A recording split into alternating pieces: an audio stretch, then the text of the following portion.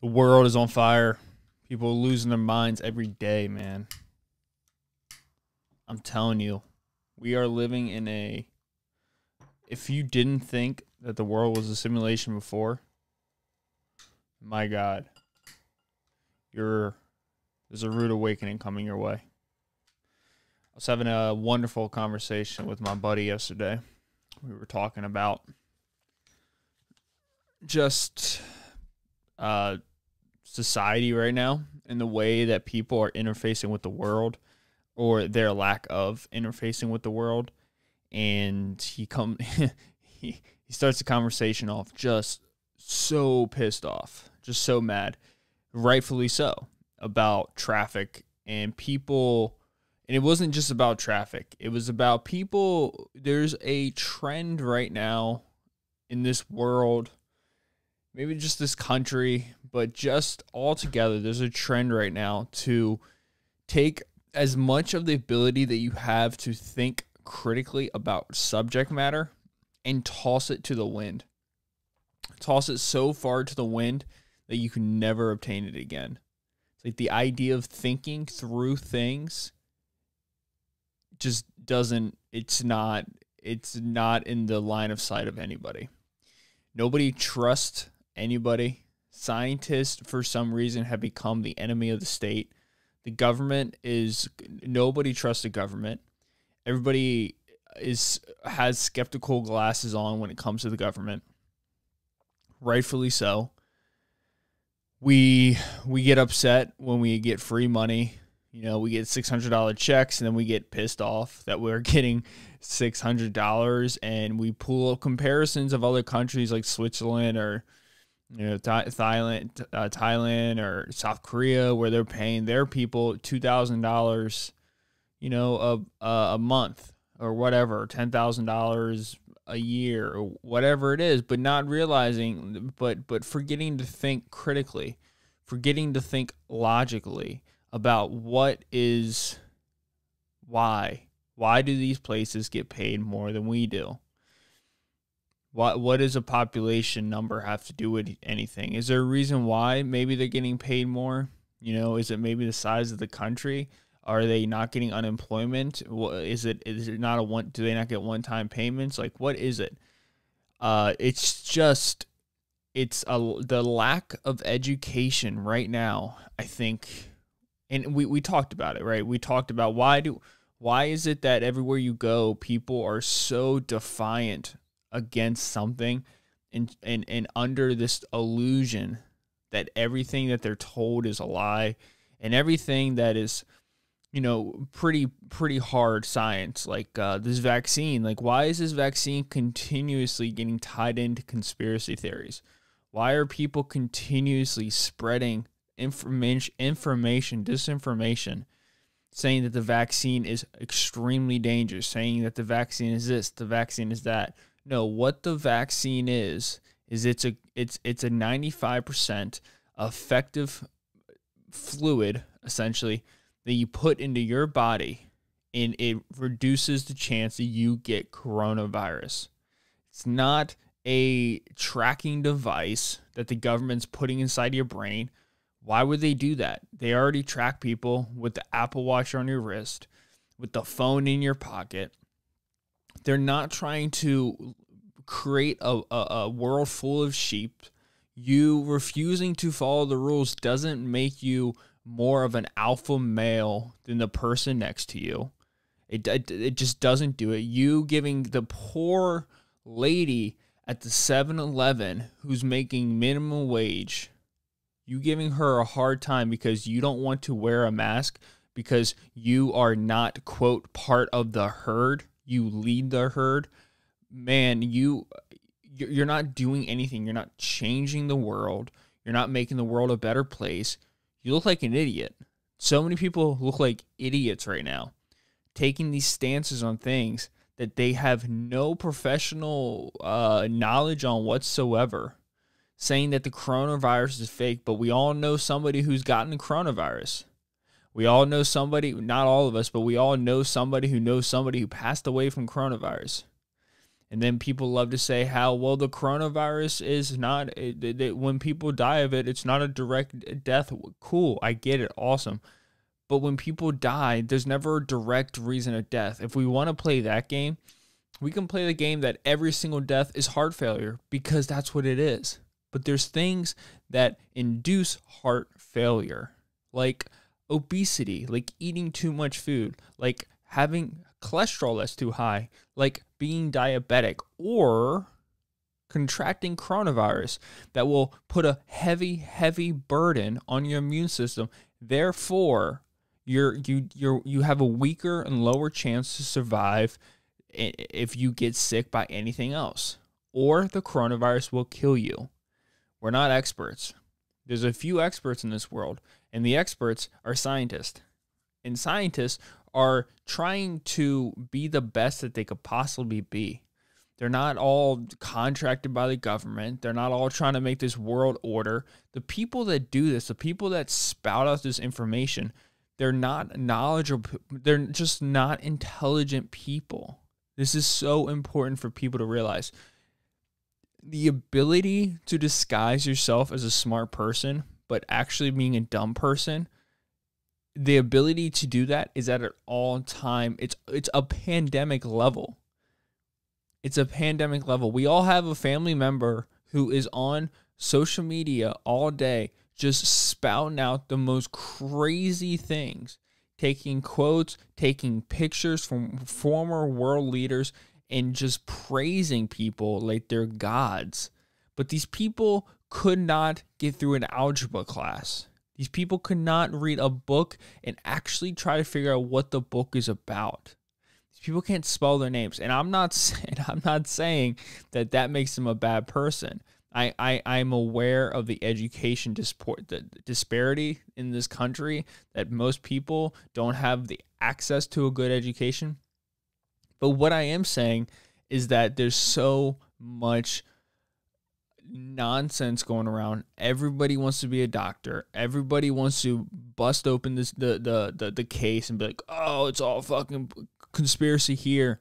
Like it's just it's driving me crazy. If I had to hear one more person person say that the coronavirus vaccine doesn't work and that the coronavirus vaccine is like somehow a government operative that wants to like track you, wants to see like the way your brain functions or whatever the crazy shit that's going on out there that the coronavirus is hooked up to 5G network. Like if I have to hear any of that stuff one more time, I'm just gonna. I, am just gonna. I, I don't know. I don't know.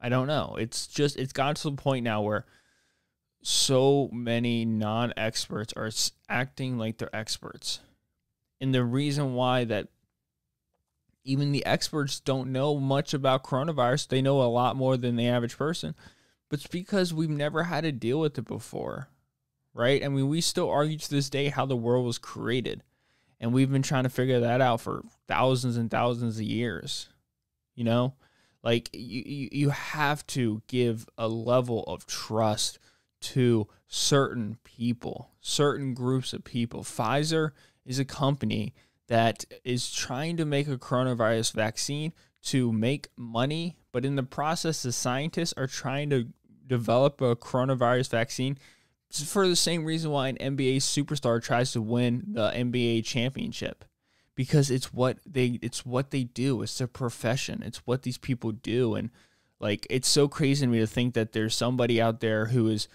piecing up a video, a flat earth theory video. And, and on the other side of the country there's somebody who's putting together the last molecules for Johnson and Johnson to to to, you know, uh, make sure the vaccine rolls out. Like it's just there's and just there's so much information going around that's just not true and it's just it's chaos, dude. And we were just having a conversation. We were just we we were just appalled, you know. We were just appalled by the things that people say, the things that people do. The um and I I think I think honestly, I think the biggest issue with it all is the phone, man. It's the phone not just for the social media aspect, but for the aspect of here, here's an example. so when I was younger, I was like 12, 13, 14, 15 years old. If I was 15, that would have been what, 9 years ago, 2011. So this was right around the time social media I think was out. Facebook I think came out in like 2008, 2009. But social media was out, but it wasn't out in the sense that it was easy to use. Like the internet on your phone wasn't like easy to use. Um, I wasn't really using it for any other reason. I may not even have had like a iPhone. I probably or smartphone. I probably still just had a uh, like a Samsung Glide or you know uh, just a regular flip phone or slide phone. Um, and I'm I'm definitely getting to the point now where I feel I can I can my age. I can feel there's times where I'm like, yeah, I'm old. Because I think people who are you know 17 years old right now they never they've always had an iphone. Like a phone is not a flip phone. It's it's a touchscreen phone. Like i remember when the first touchscreen phones came out like the the delay time from when you clicked a button was like it was literally like a quarter of a second which doesn't sound like a lot but it is uh it, it wasn't frustrating at the time but if we picked up a phone now with a touchscreen like that we would uh we would all be losing our, our minds. We would all be pissed off. We would all be throwing our phones. We would all be trying to upgrade our dial time. Um but I remember I would ask people things and I would ask my parents things and you know, you would get answers. You would you would get answers from authority, you would get answers from your parents about, you know, what whatever, like what's the capital of Mississippi or, you know, what's uh what's this times this or uh, what was the year that uh, King George the First declared war on whatever it's Spain. I'm just I'm completely making that up. And someone would say blah blah blah blah blah 1468 or whatever. And you kind of just took that at face value, right? You you took it, you you ran away with it. You're like that 1458 I because you that was a person you were asking for an answer and the answer that you got was the was better than what you thought but now that I was walking away, I'm 13 years old. My dad says 1458 or whatever. Well, I was expecting him, him to say like 1288, not 1458. I was expecting 1288 because because for some reason I thought that we were out of the medieval times by 1458. So I'm walking away, do do do do do. My big fat belly just just waddling away. I'm like, okay, well, well that doesn't make sense. Okay, well, maybe we were in medieval times. I don't I don't know, were we? But didn't they discover sword like and they dated it back to like like 1100 like 11,000 like I don't I don't know if he was right. Maybe maybe he is totally right and I'm I'm completely wrong. But you would do this for a few hours, even a few minutes, few few hours, maybe a day or two, and then you would have to look it up. You know, you would have to go to the computer. Like even that would be a more challenge than just going to your phone. And you, but in the process, you're critically thinking about the the thing. You're learning how to come to the answer. You're not just uh, you're not just looking to prove him wrong, and you're actually taking what he says or she says, and you're trying to you're trying to ra- rationale what what what did you previously think? Why did they think that? So you're trying to figure out why do they think that? I think this. Why do they think that? I want to know that. I want to know the difference. It's not really about the answer, but it's about why do I think this? Why am I wrong? Well, that doesn't exist anymore. You know, like I couldn't imagine being a teacher in this day and age. Like sitting in class with a bunch of middle school kids and high school kids, and you say something, you do something.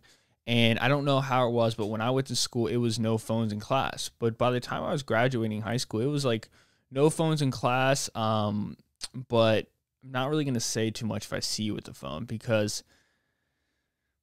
if if if I had a if the teacher actually had to enforce that policy, there would be nobody left in class because everyone would be kicked out for being on the phone, and then the teacher would be on the phone, and then the principal would be on the phone, and just be hypocrisy everywhere, and the whole high school would fall apart. But um, yeah, like like now when you sit in class, the moment you say something like, I don't know, like Pluto is still a planet. Like everybody is immediately trying to prove you wrong. They're immediately trying to say, nope, that's not true. And they're immediately going to the phone. Like we don't take wrong things and try to critically dissect them not to get the right answer, but to figure out why it was wrong. Maybe it was just a human error, but maybe it was maybe what they were actually the answer they gave was relative to another topic. So in the process of finding the an- the real answer, the right answer to the original question, you can figure out a secondary answer to a, a secondary question.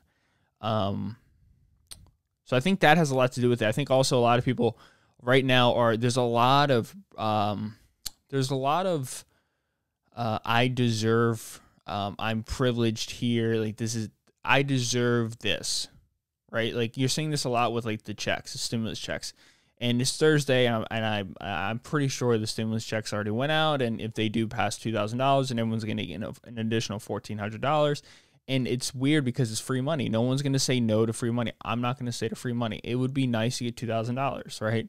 Um, it, you, you you cannot spend that money. I don't. I've had this. I've had the conversation both ways. I've had people say that yes, this is free money. This won't be taxed, but I don't. I just don't ever feel like the government is ever giving out money for free. I don't think money is free. I think even loans is free money, but you got to pay back the loans. Like there's interest on it. I just don't see how all this money that's been given out, they're not going to ask for it back. Like I, I really do think they're going to ask for it back. And maybe not. Maybe maybe they're just going to give us money, and they and it stimulates it stimulates stimulates the economy. Hence stimulus check, which I think a lot of people are disconnected. They don't understand what the stimulus check is. Um, but but I think people people were upset when it was six hundred dollars because they think they deserve more money. And the truth is, you don't deserve any money, right? Like, and and I think that's that's a really that's a harsh thing to say, but the fact that our our our government is even siphoning off any money at all to give to people is incredible. The real money is when the unemployment checks come in, and people are making an additional three hundred dollars a paycheck for for four times a month. I mean, that's uh that's that's twelve hundred dollars right there a month. And let's just say you make your forty percent of your regular paycheck is six hundred dollars. That's nine hundred dollars four times a month. Eighteen thirty six hundred dollars you're making in a month. And that's another scary aspect of all. And, uh, and with everything going on, this is even a scarier thing to think about, which I don't think um,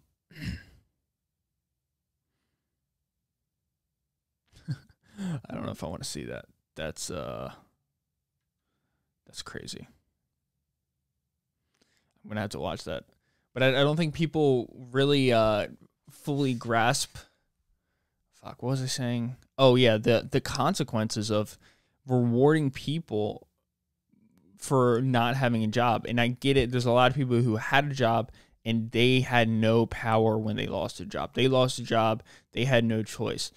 But and I also understand that the market right now is it's hard to find a job. But I worry that the long term effects of this of this increased amount of money that's just going out to people and going out to people. Yeah, people say, well, the money's gonna run out, they're gonna stop giving away money.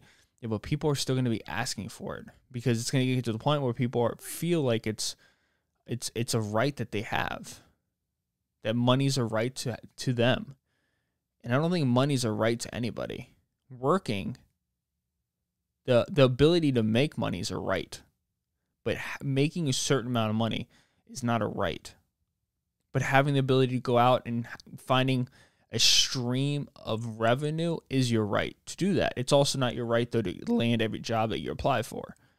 And I think that's a very important thing for people to to grasp. Um, and I also think that the ultimate way to make money is to learn how, what how to deal with money what is there's not just making and spending. There's making and spending, investing and saving, and all those things are correlate to a higher net worth.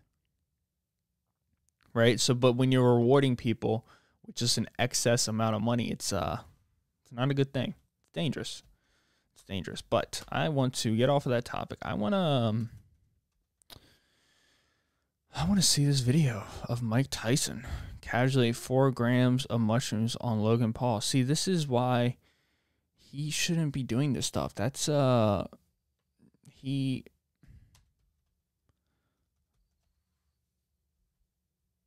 Oh my god, it's 10 minutes. Or it's an hour 21. I'll watch the podcast later.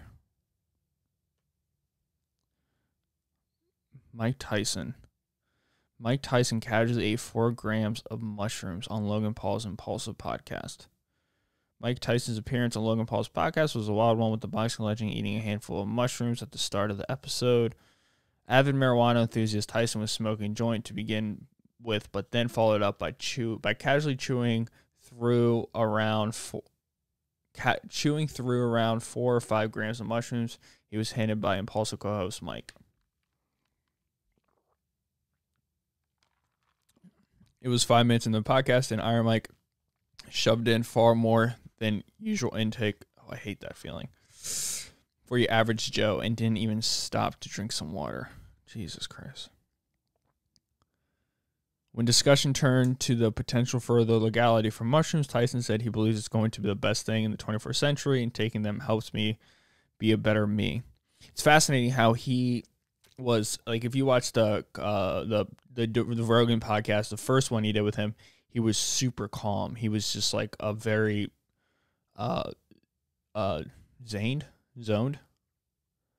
He was very zenned out. He was a very happy person. He was smoking a lot of weed. He seemed calm. He seemed like he had control of his emotions. Like mike tyson's a killer. Like this guy was developed to be a kill like his job was to kill people with his hands like and he was really good at it. So it, it, it was like the perfect combo for a dude to just lose his mind. Like um every time someone would tell me things like uh like oh he lost all his money or he was like he was like a bad person I'm like yeah well he was he was des- he was a machine. He was designed to break people's skulls. He was designed to kill people with his right and left fist. Like no wonder he there was at times where he would buy a tiger irresponsibly or no wonder there's a time where he might have pushed a uh, a I don't know a I'm assuming he pushed paparazzi or the time he told that guy he was gonna eat his babies. Like no wonder the dude was he was he was he, he he's a little off his rocker. he's a little off his rocker. He then confirmed he trains after taking mushrooms and may have taken some a few days before he returned to the ring for the first time in 15 years. Whoa, he took some to fight uh, the 54 year old then began to discuss other psychedelics such as DMT and, and ganja and experiences dabbling into those substances. In fact, he's gone on record to state that it was his consuming a psychedelic named the toad, extracted from a rare species of toad from the Sonoran Desert in America, that led to his incredible weight loss and subsequent boxing comeback. Oh my. Well, this is going to be fun. Uh, he said, I took this medicine, and the medicine told me to get into shape, Tyson said during the weigh in ahead of the Staples Center exhibition. It really blew my mind. It told me to come back and start getting in shape. It said that the drug, which is far more powerful than the DMT, causes religious like trip where users feel their state of consciousness altered in the space of five minutes. On the podcast, Tyson described how taking these drugs made him feel likening likening it to seeing the sun open up. Whoa, not the sun coming up, but the sun opening up, like the inside of the sun just peering. That's a that's a wild wild uh, way to say you your experience with with a certain drug. Uh, it should be noted that the whole conversation wasn't just about Tyson experimenting with drugs. He talked about his upbringing and now and how he was arrested 40 times before he was 12 years of age. 40 times. 40 times. And this is why you can never people people say don't judge somebody, but then they judge somebody so quickly. I mean, how the fact that this guy is in dead or in jail is like astonishing. I mean, the only the only way this guy could survive is if he could figure out a way to, um, to beat the living shit out of somebody with his fist and not go to jail, and he did. That's what boxing was for him. His Hall of Fame boxing career was, of course, a key topic, but the two time world heavyweight champion told Paul exactly what he thought regarding his transition into the squared circle.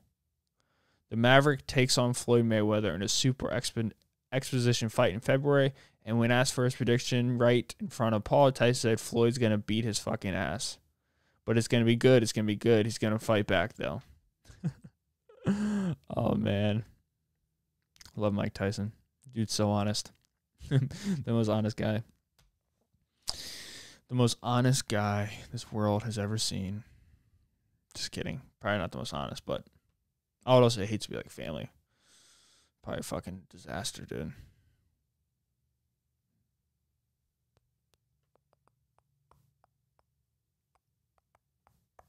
Um, there was, whoa. Oh yeah. Quick thing I just want to go over real quick. So for Christmas, I did get two sharks. So uh, my girlfriend got me two little baby sharks. I guess they're technically carp. Um, I guess they're technically carp, but I don't know. I went to the Petco place, and I was talking to Taylor. I was like, "Oh, it be so cool to have sharks." And I guess, or I, I was like, "Do they have any sharks here?" And the guy was like, "Oh, there's sharks right here." And I looked at him, and I was like, "Uh, I guess those are sharks." Um, uh, but then the guy, then I guess Taylor overheard that, and she went ahead and bought me two sharks for Christmas. Um, I have not named them yet, and the reason why I haven't named them is because I wanted to learn more about them. So I wanted to watch them. I want to watch them swim. They're going to get to about six inches big, so I just want to experiment with them, see what they do. And immediately, once I saw them, I could already see the hierarchy taking place. There's one. There's one. There was one shark. There was one. just gave it away there was a shark and he was the aggressor. He would continuously chase the other one around. If the other one tried to get food, he would not let him get food. The dude had like a hole in his fin, and um, and I was like, oh, that's weird. Like, so then I then I gave him rocks to kind of have like a place to hang out, so they didn't like because they're territorial. And I don't, I think maybe the guy told her to get two, but I feel like getting two is kind of weird. I don't know. I mean, what do I know? But um, they they uh they they did they did that for a little while. A week went by, and uh, as of Wednesday, I went to the tank. I opened up the tank, and the one fish was the one shark was dead. He he didn't make it. Um, he he didn't die from a pH imbalance or anything because the other fish is fine swimming around doing his thing, but uh, the one shark I guess was just lower on the hierarchy. And the other shark was just like, hey, man, you're not eating. He didn't let him eat. Like, he did not let him eat every time he tried to eat. So I think the one shark just like literally starved to death. It's sad. It's a bummer. But I do have one shark left. Uh, and I was told to maybe introduce another shark, but make sure it's a bigger shark. Uh, but that was kind of like big news I want to tell you guys. So I, I want to put them on the podcast, but I have no place to really put them on the show. Uh, but they're in the other room. There's a little light in the in the in the in the fish tank, and he's awesome. And he's a killer. I mean, he's a savage. He literally killed the other shark. Uh, he didn't kill him directly, but he didn't let him, let him eat either. So I guess that is a form of that's kind of uh, that's like Joseph Stalin way of killing. You know, you just starve him out. Um, but I didn't want to name him because I didn't want to become connected to him because I knew that one just wasn't. Uh, he wasn't. He wasn't. Uh, he wasn't. He wasn't kicking ass for lack of better terms. He he didn't look like he was going to uh, win. He didn't look like he was going to win. But um, yeah. So I have a shark now. The strangest medical cases of 2020, two days ago. You guys have a look at the news. Green urine. Whoa, what is that about? Having the strangest medical cases of 2020. A number of intriguing medical cases caught our eye, our eye this year. It's the time of the year, man. Oh shit! You know what? You know I just realized. You know I just re- realized. This is the last episode of 2020. What am I doing? Why am I talking about science? Um, this is the last episode of 2020. This is it. This is it. Um, I'm gonna spend the last 10 minutes of this podcast just saying thank you for every.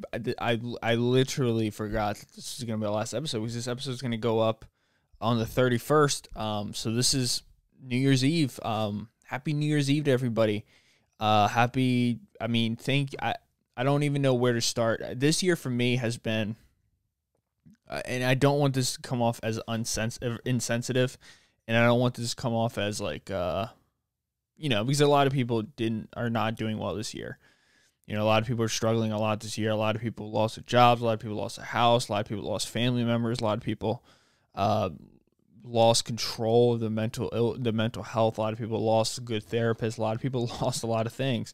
And now what I'm about to say even makes me feel like more of a dickhead. But um, this has been a great year for me, you know, and I think I think it's even though it's been a shitty year for a lot of people, I do think I, I still believe that there was a lot of good that happened, even for the people where a lot of shit happened.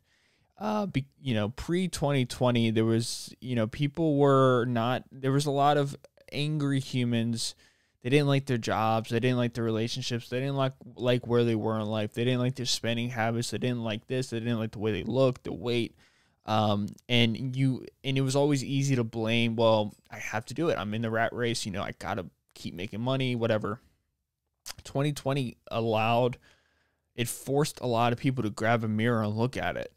And I think there was a huge divide of those people who grabbed the mirror and ran away with it and and refused to look at it and um and continued down the path of just spiraling. Uh, but I think there's a lot of people who looked at the mirror and they looked at the person like I don't like that person. Who is that person becoming? don't like I don't like my job. I don't really like the person I'm with. I don't really like the way I look.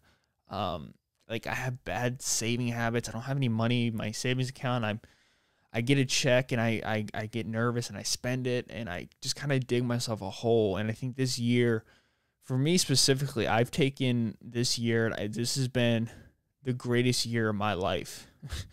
and it sounds terrible, but it's, I, I got back into school. And when I got back into it, I, I mean, I was already into it, but I I knocked out a whole year of school. I have one year left. Um, this time next year, I'm going to be graduated. If you guys don't think I'm having a, a graduation party on the podcast, you guys are crazy. I'm just kidding. I may, I probably won't. But um, yeah. So I got, I made another more progress with school. Um, I learned, I learned the value of money. Like I really did. I learned the value of money. What does it mean to invest? What does it mean to save? How do you save? What's the debt to income ratio? How much money do I need to actually survive? Um, I, I learned how to not make money, but how to manage money. Um, and I've I've making I've made huge strides on that. Like I've I've increased my my net worth like tenfold just from those little things. Um, I've taken this podcast. I don't I don't know how many I don't know if I can even look this up. I might be able to. I think I just want to kind of get like a quick. I'm gonna see what my last podcast was of 20. Of 20, uh, my first podcast was of 2020. Uh, December. Okay, so January 7th, episode 54 was my first podcast of this year. So that means we've done a hundred. This is going to be episode 153. So we've done a hundred. We've done 99 episodes this year, which is amazing. We've basically done a hundred. Let's just say we've done a hundred episodes this year on podcast. Um, it it went from getting you know a couple hundred downloads a month to pulling in thousands of downloads a month, multiple thousand if you add in my YouTube channel too. Um, I've I've I've been able to uh, I started running. You know, I've gotten physical, in like decent physical shape, confident physical shape, like a shape where I know I can maintain.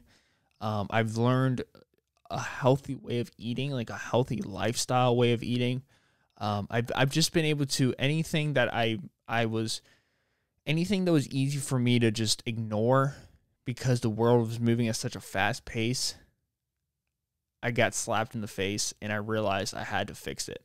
And uh, 2020 was a great year. It honestly was. You know, we've we've learned a lot about people.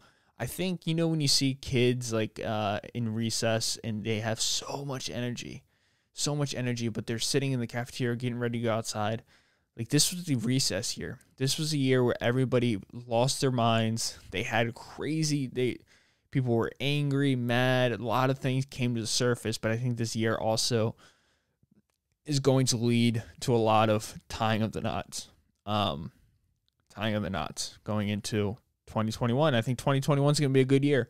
I think it's going to be a good year. I don't think it's going to be as crazy as people say it is. I think as long as people get the vaccine and as long as we, you know, I think we're going to be fully, you know, Fauci says around 70% is what we need to get back to like a normal life. Who am I not to believe him? It's Dr. Fauci. He's a smarter guy than I am. He's been around since the AIDS pandemic. Like he was a big supporter of that or a big proponent of getting that shit in check, not a supporter. I don't think anyone was supportive of the AIDS pandemic. Do imagine that. Imagine coronavirus, but like actually kills you with a pretty much almost like a hundred percent chance, and it's frowned upon to even be gay. Like, do AIDS was if you got AIDS, you died, pretty much. Uh, you couldn't really talk about it because gay people weren't like you know they weren't accepted yet, and you don't. And for the longest time, there was just so much disinformation going around about how you got it. And even when they knew you, and then when you knew that you got it, you didn't want to talk about it because then you'd be outcast from your whole family. And people just died and no one ever spoke about them. Like that shit is wild, man. That shit is wild. But uh, uh you know, it really was. It was a good year, man. It was a good year. I, I learned a lot of lessons. Um, I this was a year where I think there's always a time. Is that a bird? No, it's a leaf there's always a time in someone's life where they have that year where they have to set up for the future. And there's progress, but the progress isn't crazy. But you start building the foundation for a lot of things. And that was this year. 2020 was that year for me. Every everywhere from finances to the relationship to um, my physical health to my mental health to my emotional being um, to the way that I view the world. You know, I'm such a happier person now than I ever was. Like 2019, 2018, 2017. I was just angry. I don't know what I was angry about. I don't think I was confident as a person. I don't think the things I believed is what I actually believed. I think I just believed the things I was told to believe. Uh, but this year and through the, you know, look at all these. I mean, I've read.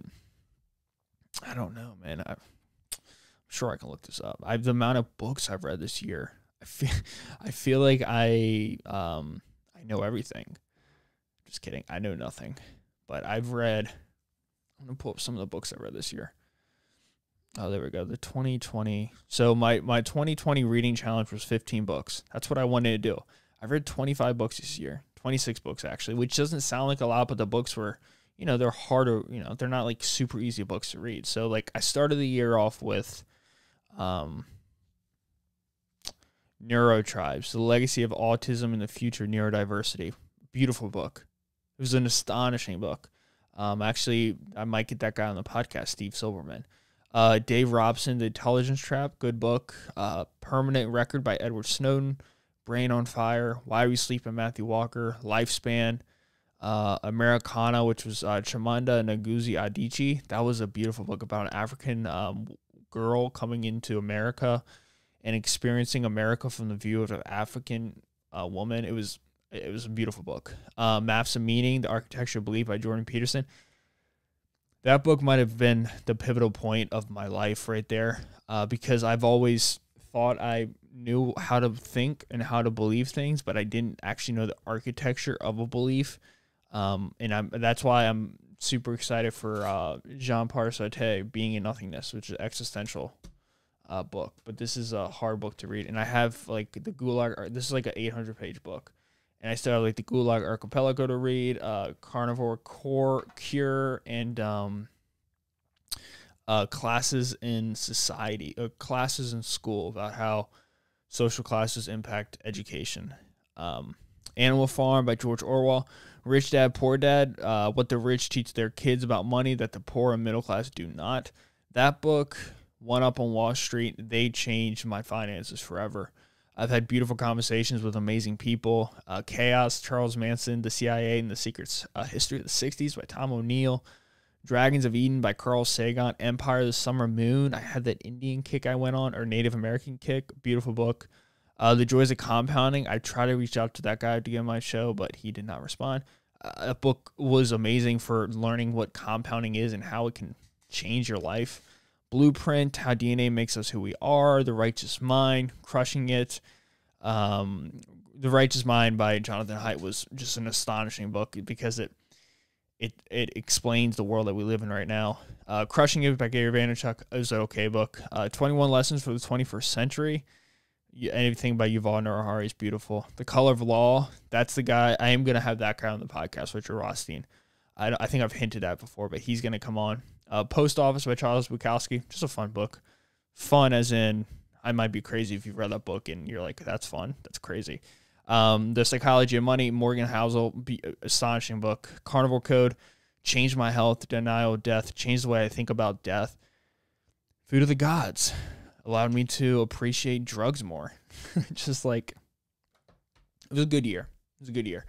And um, yeah, it's over though. You know, it's all it's all in 2021. You know, I think there's a lot more lessons coming out this year than people give the year credit for. Um, but for me, uh, for 2021, all I want to do is keep saving money, um, keep working, um, graduate school. That's a huge one. Um,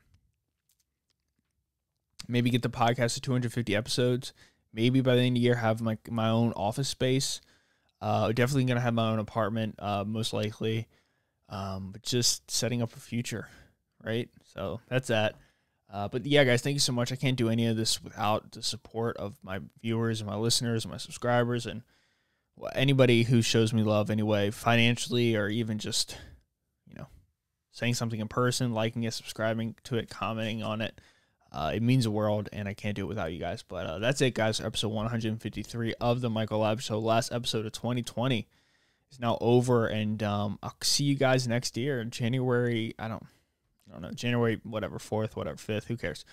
But I'll see you guys when I see you, and uh, thank you, thank you so much for the continued support of the show. Like I said, I can't, I, I couldn't ever imagine that the show would be where it is. I would have never, I would have never guessed that I could ever get the show to the size that it is and it's not even that big yet. It's just keep, but it just keeps growing, and that's why it's uh, that's why it's addicting. Uh, but love you guys so much. Thank you for always showing me support. I'm gonna go ahead, shower, edit up this podcast, and I'll catch you guys. Catch you guys next year in January 2021. Peace out. See ya. Have a beautiful rest of your year. Be safe tonight. Enjoy your night. Um, watch out for idiots on the road, but just be safe. Get home to your loved ones in one piece.